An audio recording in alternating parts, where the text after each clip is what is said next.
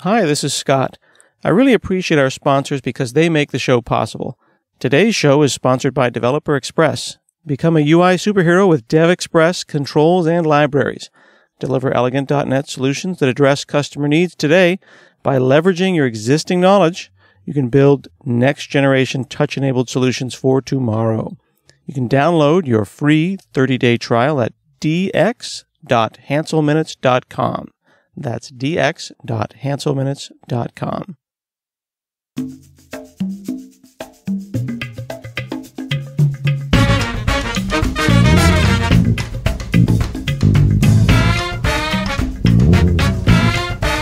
From HanselMinutes.com, it's Hanselminutes, a weekly discussion with web developer and technologist Scott Hanselman. This is Lawrence Ryan announcing show number 498. In this episode, Scott talks with Ocean Software's Matthew Cannon about SID chips and video game soundtracks. Hi, everybody. This is another episode of Hanselminutes, and I'm talking with Matthew Cannon, uh, formerly of Ocean Software and a you know a legendary composer of uh, Commodore 64 music, amongst other uh, kinds of musics throughout the 80s and 90s. How are you? I'm fantastic. Good to speak to you, Scott. so you can't stand listening to yourself either. I feel the same way. No, myself or my own music. Um, but I'm sure we'll get on just fine. it's uh, yeah, listening back to your own music is is uh, it, it, I suppose it's somewhat like listening back to your own voice on your podcasts. Um, for some people, it's uncomfortable. For me, it always has been. Even when I had a piece performed live by a small orchestra uh, many years after my video game music, uh, I was so excited for the uh, for the occasion. But when the occasion came, I was, uh, you know, I wanted to hide. it, it's, stra- it's a strange thing. I don't know. I think a lot of artists get that uh, feeling. So, how did you get started making music for video games? How does that work? Well, the question, how does it work? That used to drive me a little bit crazy when I was a kid. So, starting, I don't know, probably from the age of 12, maybe 13, when I um, had uh, uh, my first home computer, which was, uh, I think, the VIC 20, and then very shortly afterwards, the Commodore 64. And that thought of, you know, how do you get started on this? That's what, what drove me really, mm-hmm. because I heard fantastic sounds coming out of the machine. Uh, and I didn't have any other musical instruments in the house really, apart from a, an old electronic organ, which didn't really work properly. Mm-hmm. And so I heard fantastic sounds coming from this machine. I couldn't believe that it was a, um, a 64K machine. And I, it puzzled me. How would you make music that is so uh, detailed, involved, and, and multi-layered in this uh, in this small box? So, uh, getting started meant uh, going through some of the old manuals that you'd normally get from your uh, from your machine. You know, you'd unwrap the the machine, get it set up and everything. And the, the manual will be tossed into the, into the box because you just want to get the video games on. That's how it was back then, you know. But, um, sooner or later, the video games became so, um, uh, rich in, in their audio and visual presentation that I had to reach for the manual because I thought, well, someone must have started somewhere making such fantastic graphics, fantastic music. So I start thumbing through the manuals. And of course, the manuals don't tell you very much at all. And that's where you draw, um, draw a blank really as a 12, 13 year old kid.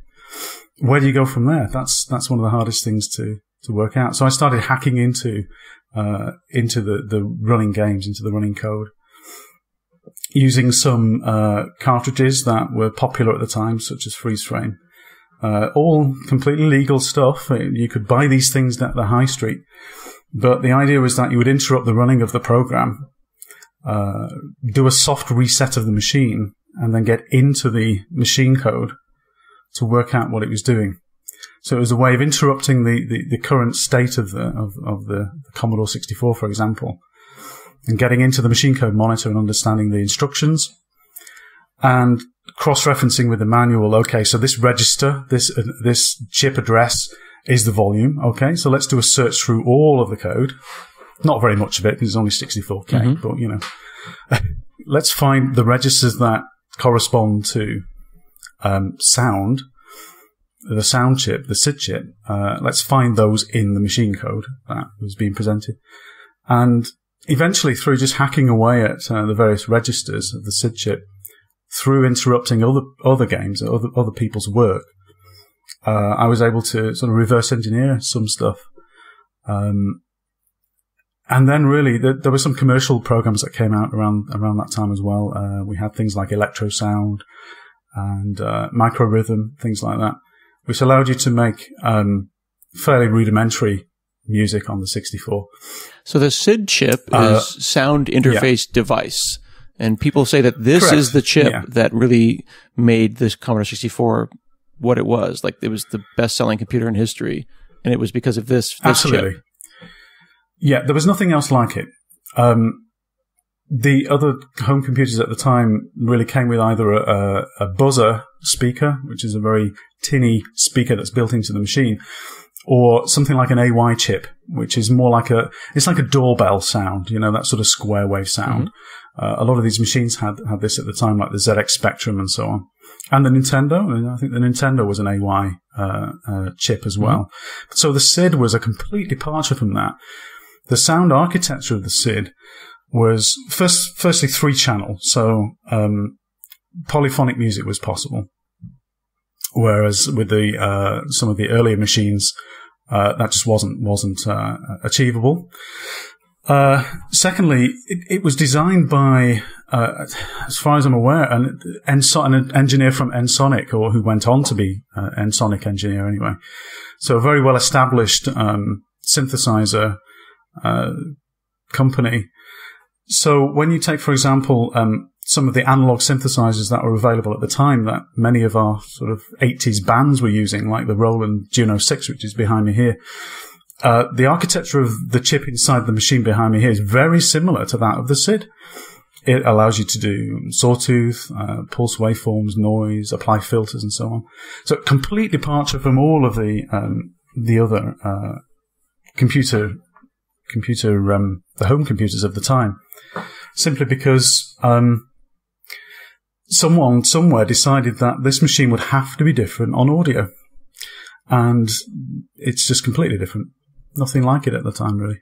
People say though that uh, the folks who designed the SID chip weren't 100% happy with it, and that maybe it was released unfinished. Yes, I've heard uh, similar reports. Um, what I'm aware of, though, is is as I dug into the, the, inner workings of the SID and and used some of the music routines that we developed at Ocean Software, for example, was that it was possibly released buggy. So hmm. there were some aspects of it that that did have bugs, but we we started to find them and use them to our advantage. So there were things that you could do to combine waveforms that were probably not um, expected mm-hmm. by the original designers, but um, we did that anyway, and if you listen to some, there are some pieces which uh, actually demonstrate that quite quite obviously. Because they're reliably, it's reliably buggy. It's reliably buggy, and you know there are some of the finest synth- synthesizers in the world. An example is the Yamaha CS80, which uh, I've got behind me here as well. And uh, if you play a sawtooth waveform on that machine, um, it's got a bug in it, so that the the waveform, if you play it through an oscilloscope, has a little glitch in it. Mm-hmm. Um, but that adds character, you see. That adds a certain character to that synthesizer, and now it's uh, it's a legend. And I think the C64 had all of these uh, features, um, as we sometimes call them, in there, and they, they were they, it was character, added character. So yeah, we, we loved it, absolutely loved it. And the the the SID sound chip has become, I mean, ordinarily you would think of it as C64 yep. sound, but the chip itself is so iconic that it's referred to as SID music. Yes, yes, it is now. Um, and nobody could be more surprised than me, really. Um, for me, music in video games was about the Commodore 64. It was never about the SID chip. In fact, I think when I started at Ocean Software, uh, back in 88, 89, I think it was, no, 88, um, the word SID really wasn't mentioned. You know, we didn't talk about what the SID registers were so much. We just knew that the certain addresses could be poked and certain things would, would happen. Uh, so the, the, initials SID really didn't come up very often. It was just the Commodore 64. It makes a fantastic sound. Most of the games that we, we, uh, we publish on the C64 have great soundtracks Um, so fast forward 15, 20 years later and to, to find people talking about SID music. Mm-hmm. It's quite extraordinary because, I mean, we've got, we've got SID modules now, like, um, the HardSID, which is an external, uh, rack mounted, uh, simulator of the SID, you know, with dedicated SID chips. And it's extraordinary. I would never have thought of, of hearing anything like mm-hmm. that. It's great. I wish I had it. I wish I had, you know, eight SID chips, my, my C64 games. That would have been fantastic. But, uh, it was nice in, in, in a way though to be um, restricted by what the SID couldn't couldn't do. You know. Um, well, and now there's online collections. There's the high voltage SID collection that's got something like forty thousand SID examples, yeah. and then there's the SID player. You can play SID music on your web pages now. Exactly. Yeah, the SID player is extraordinary. Um, and just the, the level of detail that the, the developer of a, of a, an emulator will go to to emulate the certain you know characteristics and to play the, the ROMs through it and stuff like that. It's just um, it takes a lot of dedication. I've thought about uh, do my own homage to the 64 in my own way, mm-hmm. uh, and I think at some point I do want to do this. I want to to create a um, an IDE for uh, SID music that's web based, so it's a web browser uh, or digital channel based uh, app anyway. Mm-hmm. That allows you to author SID music, you know, through the browser. So um, I'll have to do that. I must do that. It's it's something I'm, I'm I've had had on, on the back burner for a while. Well, I suspect you'll find a, a, an audience of volunteers though that are listening right now. Absolutely. I mean, it's going to be, isn't it going to be great? I mean, you know, to have uh, I don't know, a fully responsive and adaptive website to play, to play SID tunes and to, to code it in such a way that, you know, very, is very faithful to how we used to write our music back in the day. Because we used to write it byte by byte, you know. Uh, we not only had to code the, the, um, the routines to, um, poke the, the registers into the SID chip and to get the right frequencies and waveforms going and so on. But we had to, um, inform the SID chip what to play by very intricately uh, uh, scribbling down every single possible note that you could have between you know the C and the G or whatever, and um, getting the frequencies and and lengths of of note uh, exactly right. So it it took a lot of uh, uh, intricate noodling, messing about, experiments, failing, and all sorts of things. It was fantastic. But yeah, byte by byte, note by note, um, and eventually when it played back at, uh, at your 60 hertz or whatever, I think it was 50 hertz in the states actually. I think uh, I think the the 64 was playing at a different rate in the in the states. Maybe some of the music was playing faster. I think. Hmm. I'd, so, I'd did like you know how to write music though when you were doing this? Like you were saying that you were writing is. Uh, is there a generation of people who did this work who don't know how to write music? Like absolutely, a, yeah. on, on, a musical score. Yeah, but they write. Correct. They know how to write the bytes though. They know how to write the bytes. That's right. So um, you had three channels to work with. So you had three chances here, really. You could either go for the monophonic sound, you know, the sort of riff, the heavy riff sound. And if you were not musically oriented, then you can get away with that. You know, you could do, mm-hmm. um, you could play some very strong notes and just blare them out of the SID chip and try and get a, get a, a, a, satisfying sound, you know, and get some filters on there and stuff like that. Mm-hmm. But if you're more inclined to, to writing music out and thinking about how it, it works polyphonically and all the rest of it, and more um, traditionally uh, musical, then you've got three channels to do that with. Um, so yeah, it, it's still the you know byte by byte rule. It has to go in like that. It's quite tedious, but a lot of us would put a bit of music into the 64 through our proprietary system, which is is an absolutely crazy system I have to tell you about. Um, play a little back, and then maybe scribble some down on a stave playing on the piano, go back to the 64, maybe you know, get your feedback from the 64, what it can do, go back to the staves, scribble a few more notes, play it back, and you just go around like that, you know. Mm-hmm. Um, usually only with one real musical instrument. So most of the people I worked with at the time would have just one keyboard or one electric guitar in the room and one Commodore 64 and one compiler. And it was just that going around, you know, checking it and uh, like I say, just maybe scoring it out. I think Rob Hubbard was very fond of scoring everything because I think he was a stage musician. He was a, a he was um, playing with bands, and he was very much a a, a, um, a sight reading musician. I was somewhere in between. I was studying music and very interested in scoring music in, in the right way and, and getting it uh, in front of real musicians. But at the same time, I just enjoyed the the the exercise of of um, writing it down by hand, entering it into the compiler, and firing it into the 64. It's a very satisfying thing, you know. Mm-hmm. And then you've got a backup, you know, you've got a backup on the score paper just in case you lose everything. Who was the individual that you just referenced? Rob? Rob Hubbard.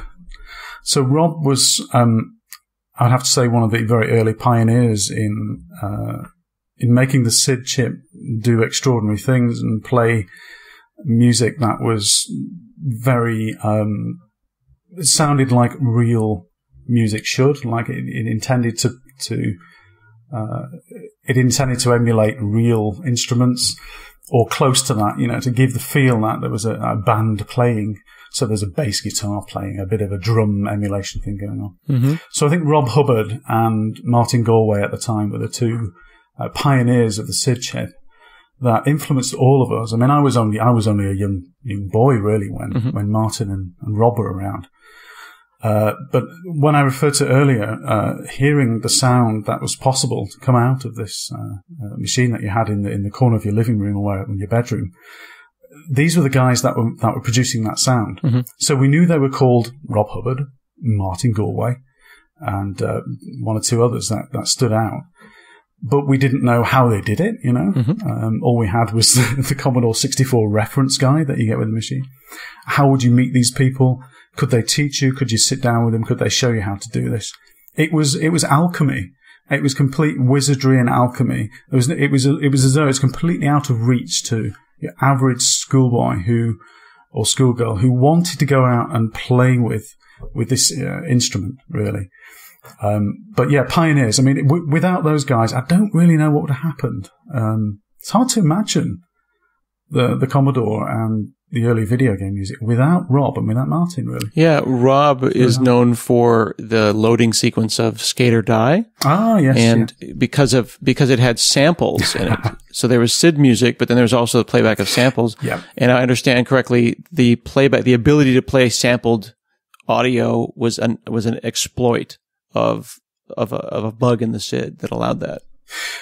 Yeah. So um, the typical way you'd achieve that is um, is by uh, sidestepping one of the interrupts that you commonly relied on to to get a steady sound. So to, to get anything running smoothly on a um, on a video playback uh, device such as a, uh, a Commodore 64 or a Spectrum, you you usually tied into the raster interrupt. So this is the screen uh, the screen writing um, the beam, the raster beam on the television, you know, Mhm. and uh, that was like I say, 60 hertz. And the idea was to interrupt that at some point um, to get a, a, a re- reliable clock speed, a routine that would reliably fire, and then that would lead to you being able to write music that would um, be consistent and be in the right time, and so on and so forth. Uh, and there was an exploit in that you could you could have the raster interrupt running, and then something called a non-maskable interrupt, Mhm. which you, you ran alongside it, and instead of sending the uh, instructions to the the pitch registers or the envelope registers of the SID chip, you'd send them straight to the volume registers, and you'd change the you'd switch the volume on and off so quickly that it would you could play a sample back because really a sample is just a sequence of on uh, zeros and ones, you know, an on and an off, Mhm. really, uh, full volume and zero volume. So you could you could you could simulate a uh, a sample going through simultaneously. That's that's that was the, the the fantastic innovation. So Rob was doing that quite early on, and so was Martin as well. Martin was uh, doing that with I think Arkanoid was the first time he did that. Mhm. So um, brilliant stuff. Those kind of those kind of things, we as the game as the gamers would be, you know, playing Yep. a game, and then someone would hear a voice speaking, or or a, a, you know, music that sounded like a real sample of something, and that Yeah. would be the Yeah. defining moment in the game. Like, I can't believe that just happened. I know, and it would happen. I mean, if it happened at the, the, climax of the game as well, I mean, that was even better. I remember a game called, well, you, you probably remember, um, Impossible Mission. It was, oh my goodness. Very, yeah. And, and to, you know, there were fantastic moments in that where you'd fall down the hole and, the, uh, you know, fall into this uh, bottomless pit or whatever, and there'd be a big yell, a big scream that would come out. Um, and the robots would have this sort of, uh, you know, sample playing as well. But then at the climax of the game, you meet the baddie, you mm-hmm. know, he's a Bond villain and as you break into his, his lair, he, he just shouts, no, no, like this. And it's just, to, to have that as a 13, 14 year old kid, it's just absolutely extraordinary, yeah. you know. Another visitor. Stay a while. Stay forever. stuff like stuff like that absolutely yeah. blew our minds, and it seems it was, so silly it? now as we talk about mm. how some gamers won't play a game unless it is, uh, you know, sixty frames a second and uh, yeah. you know 1080p. Well, that's yeah. unacceptable. Anything less, you know. well, isn't it strange? Because where's the room for your own imagination to fill in those gaps, right? So when you heard this Commodore 64 playing music, you knew it wasn't real music, so to speak. You knew it wasn't real uh, instruments but your imagination filled in the blanks, you mm-hmm. know. Uh, so it's a shame, isn't it, that we've got 60 FPS uh, uh, games that, I mean, that doesn't really mean a lot to me. It doesn't, the game has to have some heart and uh, some real, um, uh, something that shines through that you can tell the developers were, were serious about. Yeah. So simple games, really. Yeah. Somehow there was a sense that there was, it, it was hard you know that that you didn't see it. It was used sparingly. If it was easy, they would have done it through all all, all, the games. That's true. I mean, that was usually a memory limitation, of course, mm-hmm. um, for most of this stuff. Um, sample playback was uh, in the in the early days. I remember, um, you know, you would have uh, everything would stop and then the sample would play. so gameplay would be suspended and the sample would uh, sound.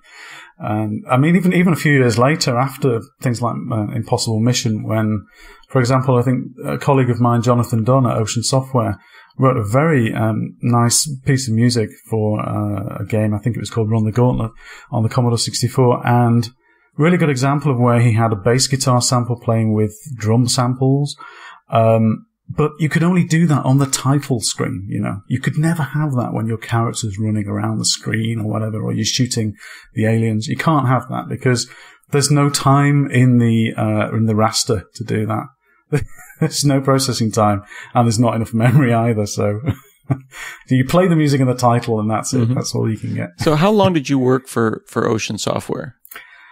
Uh, so I worked there for about, about four years in total. Um, from school leaving age uh, up until 92. So, um, yeah, as I left school, you know, I was doing the, the usual sort of computer science route. I was going to university and wanted to head off into um, those kinds of things. I remember going to a college and and the the um, the guy was saying, "So what do you what do you want to do? Do you want to come to the college and, and learn this this language called C?" And I said, "Oh, what's C? Can I have a look at some C?" and he showed me this stuff, and I thought, Last week I was sat with the guys at Ocean Software and they were showing me 6502 assembly and there were sprites flying around the screen and there were sounds blaring and, you know, there was a joystick routine and everything and it was, it was wonderful. I, don't know if I can come and learn C. I've seen, you know, the, um, Pandora's box has been opened now. I, I don't want to do that. I want to go straight into, to writing, to working with the games. Um, so yeah, I learned loads from, from the guys at Ocean Software. So four years in total and, um, you know, a lot of game titles. Um, uh, but most of all, really just learning. There was a lot of time. You know, we talk about Google time now and all this kind of thing. There was a lot of time back then, really, to innovate and to to um, try out new things. We had countless routines, countless um, five and a quarter inch floppies flying around, um, lots of printouts as well. We used to print out our code and share it. Uh, code reviews were done on printed printed out code. Um, lots of stuff like that going on. Lots of innovation that that I'm still seeing today. I'm still seeing in today's code. Believe it or not, that's surprising, but it, it's true. I think. So, how much has that that that time and how you programmed and composed music on the C64 affected the music that you do today? Is it something that you still do? Are you still thinking about it on a daily basis? I, I think uh, musically, perhaps less so than than my um, my current commercial programming work, which is more um, uh, oriented towards it's more enterprise stuff, really.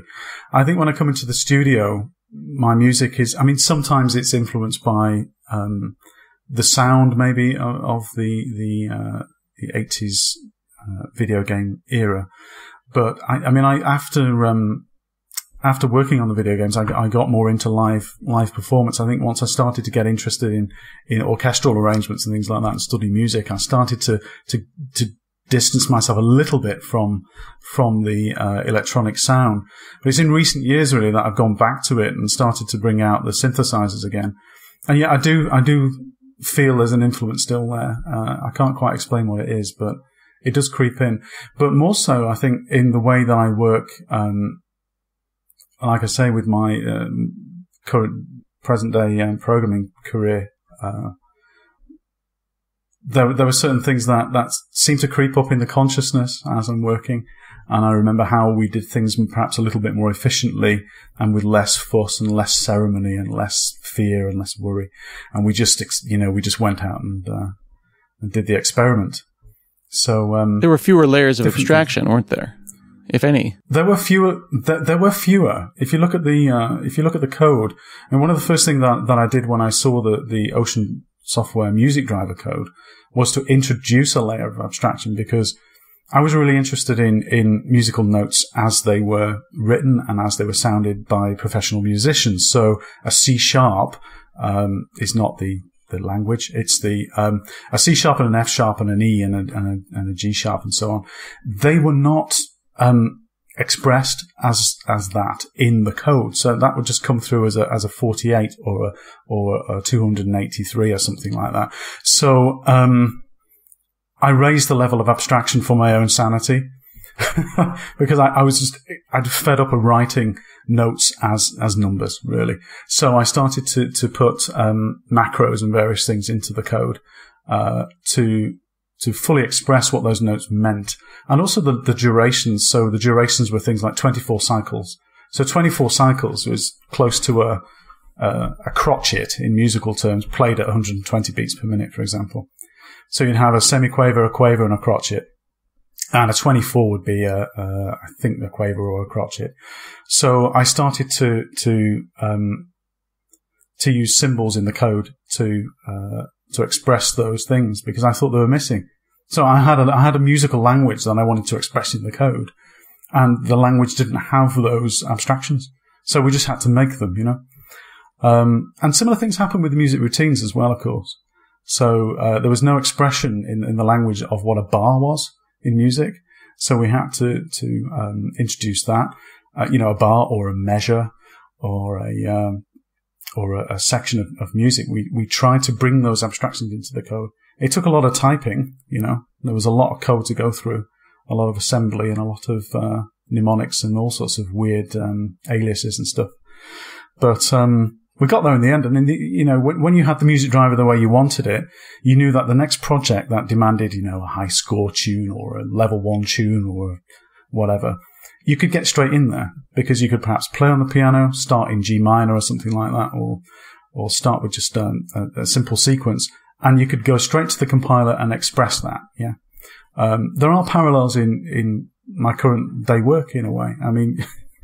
this is going to sound ridiculous, right? But you know, domain-driven design is something that I do. You know, with with with companies that I work on. It it's it's nothing at all to do with music, but the way that you communicate with your your uh, SMEs, with the, the business analysts and so on, it's very important. And if you can have developers that are using a similar language and have that ability to, ability to be abstract and at the same time be detailed, then you get a really fantastic combination. So we were doing that back then, but in a different way, I think. It, it is true though. When I think about like how long I've been doing this, and uh, the older mm. that I get, the more I'm becoming the get off my lawn person because you know I thought what we were yeah, what I was yeah, doing in like the early 90s was revolutionary but it was repeating what people had figured out in the 60s which was repeating what people figured out at Bletchley Park. I know. Yeah yeah I know. It's it's incredible. And I mean we found some really old code as well um, in the ocean archives and still innovation was there. You know, we talk about all the things that the games could do, um, like scrolling, multicolor scrolling, multi-directional scrolling, sprite multiplexing. Some of these ideas, you know, a lot of it came from arcade machines as well, because a lot of these arcade machines ran on 6502 chips or um, Z80 chips. So, you know, it was already there. It was. You just had to know where to look, but it's really hard to know who to talk to. Where was this information? Um, like I said earlier, it was, it was, it was really very well hidden information. You had to go and meet the hackers, meet the guys behind the um, the games. It was a very hard place to, to, to start from. Really, you didn't have any any uh, example code, any frameworks, any um, you know Stack Overflow. Mm-hmm. There's just nothing. You know, it's. It, um, so yeah, I do feel the same as you. I think uh, sometimes that you know well, we've solved this problem before. I don't want to be solving this problem again. I, am getting a bit irritated with this, but um, but then you've got to have the patience. You know, when you're you're trying to bring this to a new uh, some new teams, for example, there's there's a time for there's a time for reflection and there's a time for you know um, just let people get on with it and make make their own mistakes and stuff like that and find out. Uh, it's good though. It's I, I, one of my favorite things is actually working with junior developers and just letting them letting them loose. It's fantastic. Well, I really appreciate you chatting with me today, and I want to tell folks that who understand that this show is only 30 minutes long, and Matthew and I had a great chat before the show, and we're going to do something longer and more in depth with more discussion and more music uh, in the future. So you're going to want to watch for that. But I think uh, as we end this episode, we will end it on the Ocean Loader music that uh, so. that you can certainly find online, but that we'll splice in right here. Thanks so much, Matthew. You're welcome. Thank you.